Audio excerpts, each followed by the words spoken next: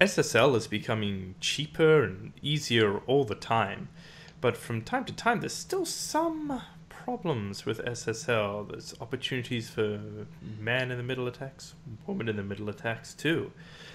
Uh, but fortunately, there is a way to mitigate some of those attacks using HTTPS strict transport security. Let's mash on that.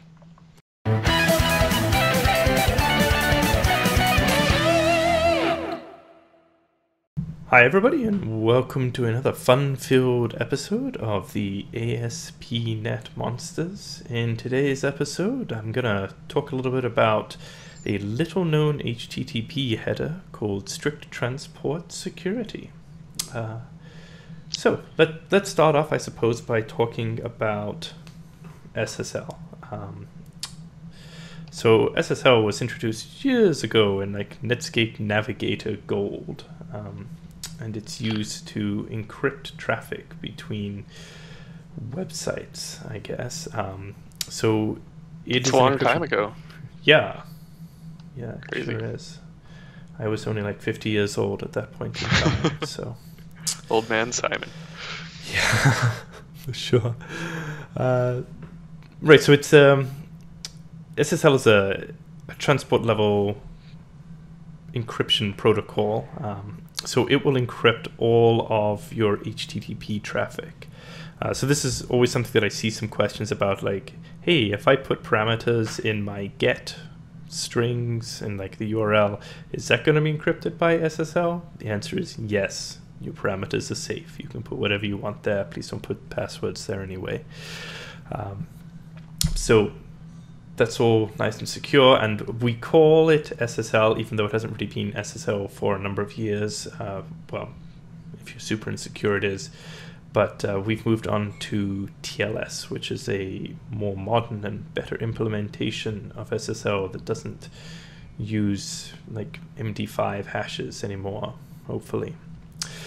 Anyway, so when you go to a website, uh, there is this like key exchange protocol that takes place when you're over SSL that will move um, keys back and forth. So SSL works with like um, an asymmetric encryption algorithm, so like a public key algorithm initially, uh, but it uses this to exchange actually like a, a, symmetric encryption key because those are a little bit faster to use and can be more secure. So that the like initial talk, it really just sets up the, the SSL exchange so that we can have a symmetric encryption key. But there is still this window of opportunity. Like if somebody comes to your website, if I say, hey, go to ASP.NETmonsters.com, most people are going to type in ASP.NETmonsters.com and hit enter. And that is going to take them to an insecure version of the web page. Like it's not going to be protected by SSL initially. Uh, now I can have on my web page a redirect which takes users directly from the HTTP version to the SSL version. Uh, but this still presents a slight window of opportunity for somebody to break into the site. Because SSL doesn't just provide uh, encryption, it provides uh, uh, what's the word that I'm looking for here? Um, perhaps authority. Uh, it provide it proves that I am who I say I am. So if you have a look at an SSL certificate, you'll see that it is for a specific domain and that it's been signed for that domain. Uh, so it, it is possible that somebody could perhaps intercept the plain HTTP request and redirect somebody to a fake domain. Uh, and there would be people might not notice that, especially if the, the domain names were similar. So there is a slight window of opportunity there for person in the middle attacks. I'll be a little bit more gender neutral now we're done the introduction. Uh, but HSTS can help a little bit with that. So what HSTS is, is a header which is added to your HTTP request, which basically says, hey, anytime you visit ASP.NETmonsters.com, you should just go straight to the SSL version. Uh, so after the initial visit that somebody goes there, uh, all requests in future should go to the SSL endpoint by default. So that saves on a redirect on my part, which adds a little bit of time to the request, and it makes people's experience uh, a little bit more secure. So there is we, have narrowed the window of opportunity here from every time that they type in ASP.monsters.com to just the first time that they ever do it. Uh, so I have uh, added here inside, this is a standard ASP.NET Core application here, and I have added a handy dandy piece of middleware here. Um, so I added uh, an extension method here for use HSTS. Uh, this is an overly simplistic implementation of this, but we'll, we'll get into that. So this is going to call into the HSTS middleware here. Uh, I, of course, log stuff out because logging is fabulous and you will never regret putting in logging. Unless I guess you have performance problems, but who has those? Not me. Yeah. Uh, yeah. And basically, I'm just going to add a header to the response that goes out here inside this middleware. So the, the header is called strict transport security, and I'm setting a max age on this. So this is like the length of time during which subsequent requests should just ignore the HTTP endpoint and should go straight to HTTPS. I, I have this set to 120, so that's two minutes. Uh, this is way, way too short. I just have it like this for, for demonstration purposes. You're much more likely to want some value like this one here that I won't even attempt to enumerate 31,536,000. Uh, so this is the number of seconds in a year. So this will guarantee your site security for a year. Uh, it's very important that you include the subdomains here. So if you have subdomains off of your main domain, this will include all of those domains too in this. Uh, so that prevents people from kind of camping on a subdomain or something like that and providing a, an attack vector that way. Cool. Uh, you can also include this preload here. So I haven't I haven't done that up here, and I'll, I'll talk about that in a minute. But let's go try this thing out. So I, I have this set up to just run uh, when we're not in the development environment here. So I have helpfully deployed this out to the Azure here. So we have monsters HSTS at azurewebsites.net.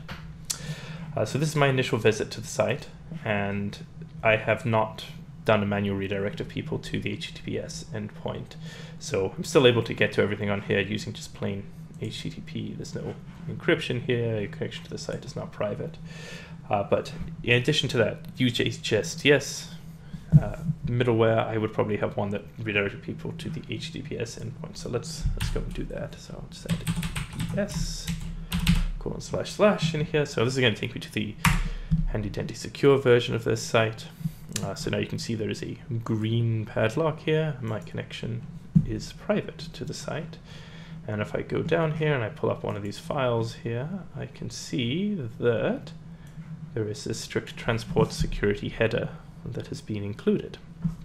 Uh, now let's try going back to the HTTP version of the website. So keep in mind that I do not have any redirects. Like we saw that there were no redirects in the application yep. taking me back to the HTTPS endpoint. So let's just hit this here, and I'm straight back at the HTTPS endpoint. Mm. So that's actually done by my browser because it knows, hey, there's an HSTS or the uh, header on this site. I should always go to the SSL endpoint. Uh, so that that's fabulous in my mind, right there. That is going to stop people from ending up on the insecure version of the website for a period of cool. 120 seconds. Okay, so I mentioned the preload header. Uh, so if you happen to have preload on your website, then you can head over here to hstspreload.appspot.com and this is a list of domains that is actually added to Chrome and uh, Firefox and IE11 Edge uh, all feed off of this list as well of websites that have HSTS headers on them by default. So uh, I wasn't able to add monsters hs.azurewebsites.net because I have a few problems with it. Uh, I didn't add the preload directive. My max age is too low, so it's got to be at least 18 weeks. We were going to set it to a year, uh, and I'm missing that HTTP redirect to HTTPS.